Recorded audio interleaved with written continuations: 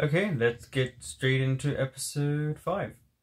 It looks close enough to touch, but it's really a million miles away. It's actually only 240,000 miles away, Dawson. I love how she corrected him there. She was like, actually. It's still romantic. Oh, we're finally getting where they're on the roof. Human beings are made up of 70% water, right? Yeah? Yeah.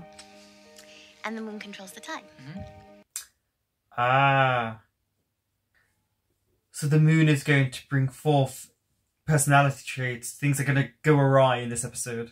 Weird things always happen during Yeah, they do say that during the full moon. See, we almost fell off. Absolutely. Mitch, I don't mean to sound desperate, but Okay, she is still here. anxious to sell this Okay. I wasn't certain if she had actually left the last episode. Is it that bad being here? Let's just say Capeside really is a bridge I should burn. I yeah. But I thought I would acknowledge it and smooth things out a little. It helped. A little. She does feel so much more mature beyond her years. Which are? Well, conversations that don't offend my mother's virtue with four little words and uh, Mm-hmm. exotic cup of brown roast coffee. Coffee. Because obviously she can't drink, or she's not supposed to. If you have any compassion for the working man, say you'll show me the gentler side of Capeside. Sure, Jan. Now, Oh, 7.30. Yeah, it's always. Yeah, have you noticed? It's always seven thirty-eight when they do these coffee meets in in shows. It's also it's extremely windy here, so I can hear my door banging while also watching them act in extreme winds. Back your Debbie Does Dallas. It's, uh, it's jacuzzi floozies, actually. they say no. You know, McPhee. I really should like just these Bite two. the bullet. Meaning? All this verbal sparring we're doing is getting a little dangerous, so we should just go out on a date before somebody gets hurt. Did you also see the price for two for three dollars? Remember back then when you could get something like that? Maybe if I was asked politely. Okay. Okay, Andie? here we go. Would you like to go on a date with me tonight? That was polite. There we go. Don't sound too enthused. I'll try to restrain myself. So where are we going? Uh, Um, how about the movies? You know, that way we don't have to talk to each other too much, less chance of punches being thrown. Not a bad idea actually. I'll meet you there. No, it's okay. It's a date. I can pick you up. Okay, well, um, how about we meet at the ice house? I mean, Why do you not want him to meet where you live? Uh, well, Not your we house? shouldn't do this. Oh, come on, Andie. Don't waste that on me now. Well, okay, um, 7.30, see you there, don't be late. What was that about? That was weird. Also, another 7.30. Everything's going on. Joey did say things happen with the, f- the full moon. Good, because I've been dying to tell somebody I've got a date with Vincent. you bitch. Yeah, how did you think she was going to act, Jen? You go and steal him from me. I mean, he wasn't out of your interested mind? in He you. doesn't even know that you exist, Abby. But you knew she was going to react like that because she reacted like that the last time. I mean, that guy probably has illegitimate kids scattered all up and down the eastern seaboard. You didn't care of that. Yeah, he probably likes a kinky. Oh, but that's right. You're the girl from New York City, right? He probably knows an easy lay when he sees one. Smack her. Yeah. No, you did not, bitch. I won't be late, dear. Okay. Bye bye. I cannot believe that you would hit me. Oh. Me, your best What? friend. We're not best friends. In the past two days, you've called me a bitch, a slut, and a loser. Yeah, but I would never hit you. You're warped. You know what? Why don't you just go home? Oh, Damn, Abby, let it go.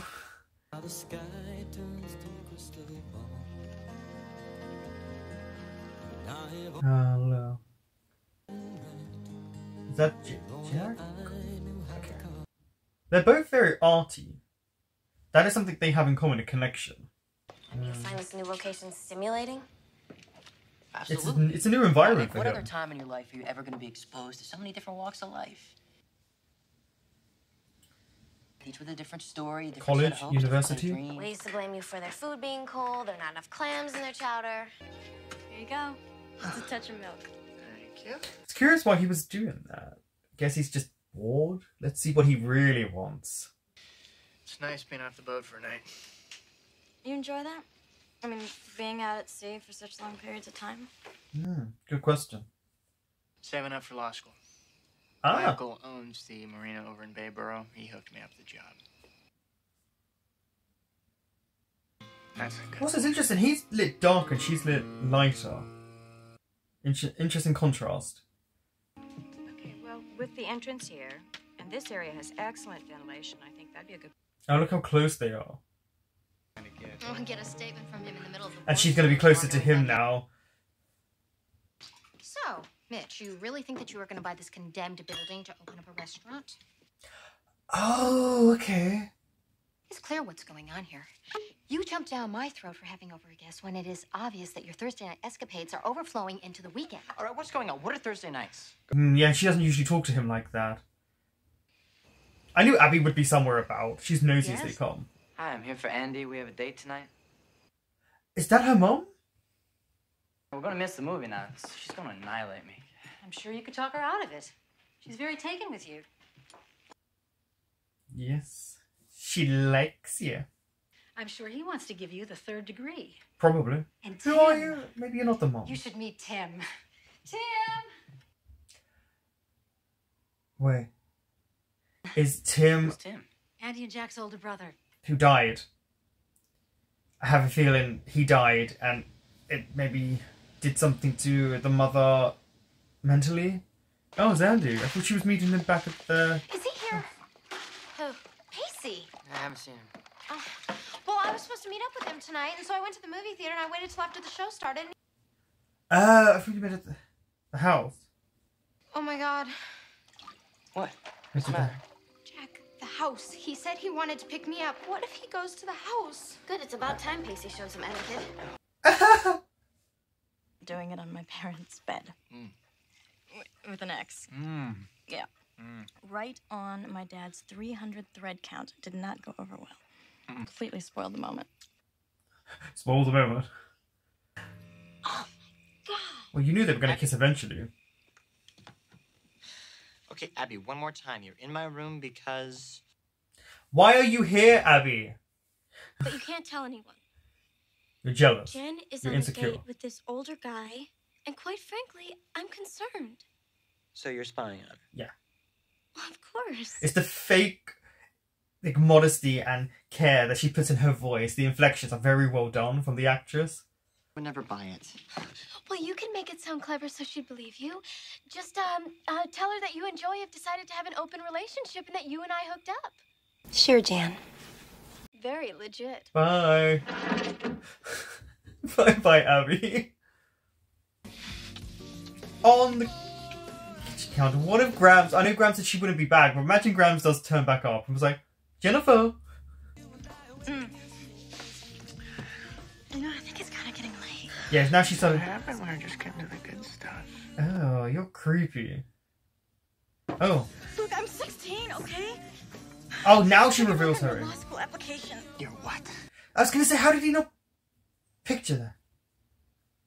You have no right to be here, okay? You were not invited. My family is none of your business, and He. woo- Calm down. Yeah, he didn't do what anything. did she say to you? Okay, she just invited me into this Norman Rockwell painting, better known as your home, and politely invited me to dinner. She was polite, very. And Andie, Andie, what? What's the problem? Tim died. He's dead, okay?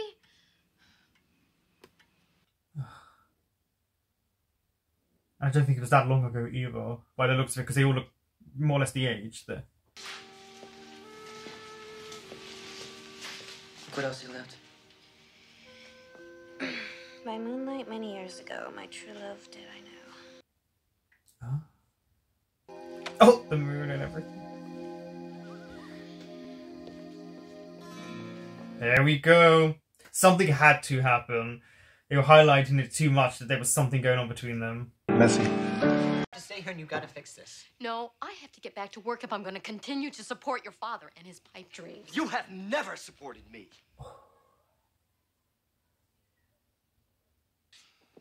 I'm sorry, Todd. Mom, The- God, Dad! yeah, I. The, You can't just let it go, can you? Yeah, he's so petty. Trying to get you to forgive her and you just won't let her off the hook. But the thing is, was Dawson going to react when he found out Jerry kissed Jack? He taught me how to shave, you know. He taught me uh, how to drive a car. Does he feel inadequate because he couldn't do the same thing? You know, he never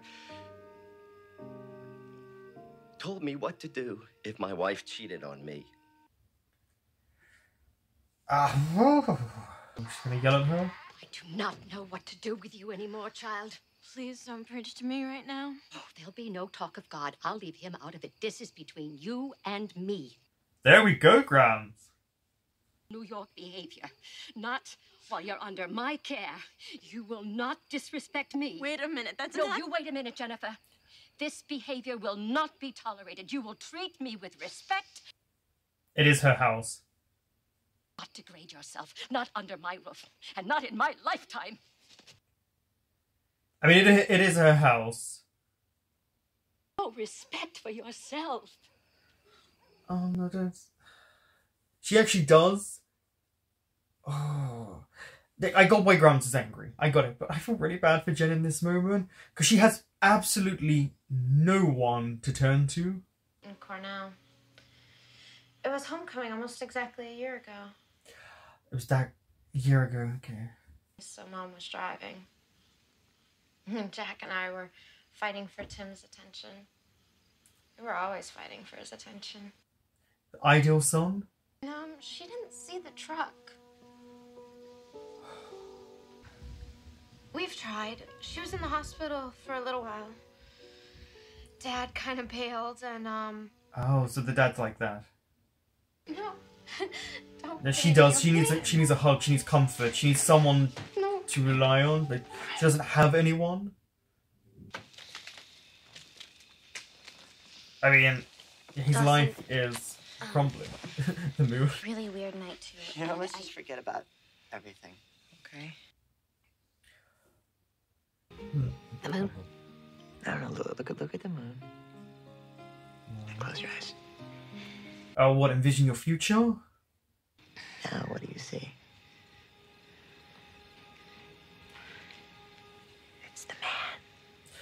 I, I, the man in the moon. Yes. The man, remember? Okay, so they were hidden there. I thought I wasn't gonna say it. I thought I was gonna be wrong, but he was going to the man in the moon. Our guests have jumped ship. Well, yeah, I should think so. Me too. Who's moving out? I'll go. Oh, Lights the darkness most fear. And he's not gonna let it go. He's gonna grab onto what he thinks is love. So Jack's definitely going for Jerry. He wouldn't have kissed her otherwise. Oh. I mean, damn.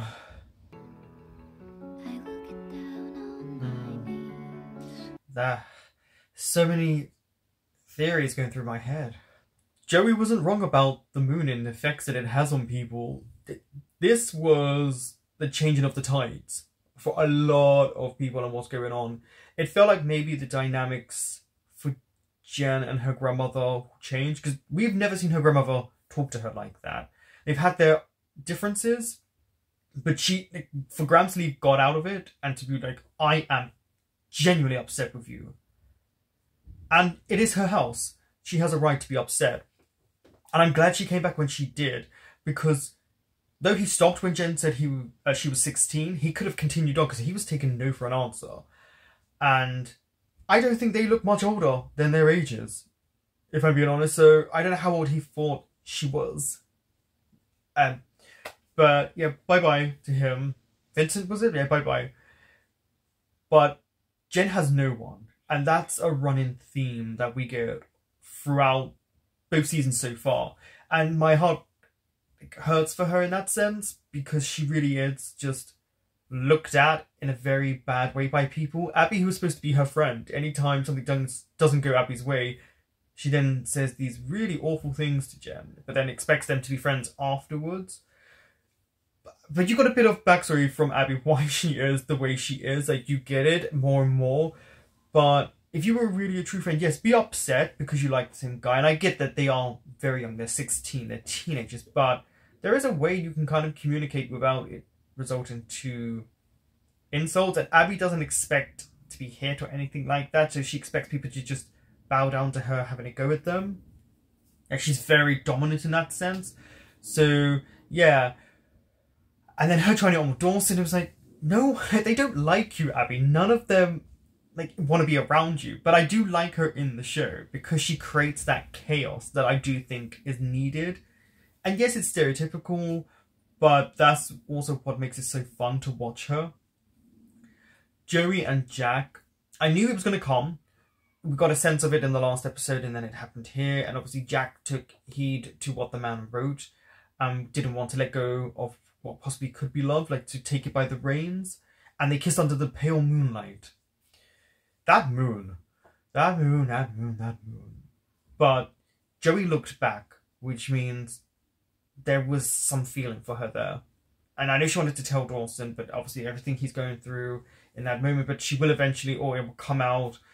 It's not going to be fun. It's not going to be good. And I don't see it working out for a period of time for Joey and Dawson. I don't know how long it won't work out, but we'll we'll see when it gets there. I could be completely wrong, and he might be angry but then forgive her. But I feel like she might date Jack for a, at least a few episodes. And Andie, yeah, Meredith does an amazing job of Andie. You know, her fast speech, her quirks, her neuroticism, then the realism of what she really does go through, and apparently she's the only one who can handle it. That she has a lot of stress on her. The father's just, I guess, I don't want to say a deadbeat dad, but there was obviously issues going on, and he's maybe he's not taking responsibility, or he doesn't want to believe his son's gone, and he was the golden child, and their lives have just been within a year been flipped upside down. And I just loved watching be so mature because they go back and forth which is how he was with Joey. Because obviously he's now got Andie, they've taken that side away, and we don't even see Pacey really interact. With, has Pacey interacted with Joey much or this season? We're five episodes in, and I can't really remember at this point. But I love seeing it. There's a maturity to Pacey that is starting to develop, and I think Andie brings out the best in him. And we're seeing the beginning of their relationship. And honestly, they are my favorite pairing right now. And the my favorite two characters, I think, this season. They've just done such a good job with bringing them together. And then at the end, we're seeing everyone kind of go through things and decide maybe what's next step for them. The, now, Mitch and Gail were frustrated. And I know people, some people might get angry. Well, you were taking it out on the dad a lot. No, I get it. She cheated. I get it. That's not to absolve her from what she did. But if you keep throwing it in her face and any guy she speaks to, you're jealous of, especially when it's her job. And I know she had the affair with a work colleague, but if you can't let it go, as we now see at the end of this episode, then the best thing is for them to separate. Maybe a trial separation. I don't know if they will divorce, but if they have a trial, maybe they'll realize how much they actually miss one another. And it was a nice moment with the dad as well, with Mitch, when he was talking to Dawson and saying his his dad taught him everything, but he didn't teach him this. And him crying at the dining table really lets you know how hurt he is, and like he could use guidance right now. He could use his dad. I don't know if his dad's alive or any of their parents alive. Because did we ever get mentions of his grandparents, Dawson? But I thought that was a good scene, and I it was nice to have adult moments, you know, away from the kids, like because obviously they're struggling through stuff but they are really the apart from Grams, who's not really there, but the parents are the, the main adult focus in this show so far. All the other adults are really sporadic in their appearance this season so far. And I hope we get to see more of them as it goes along. And yeah, we'll see where everyone goes. I enjoyed the episode because this was heartbreaking, dramatic, frustrating, really good, especially with the idea of what the moon can do. and them using it constantly and just also watching like the little graphics that they put in and how they edited the moon into everything and how it was always in a mirror image. It was always a focus. So there was always something about to happen. But I wonder if at some point everyone will come together. I wonder if Jen will come back to the main group. Because it felt like she they were letting her move on from Dawson, or at least know, highlighting it, because she didn't really mention him at all. So maybe they could do that. I don't know. It does feel like Andie's going to be part of the group now. Problem is, Jack likes Joey, so there's going to be that friction. I don't know. I would like to see all the group come together at one point. Just at some point, having all of them together. That would be nice. Again, I I think this season is picking up. We're only five episodes in, and I think it's a quite a strong season so far.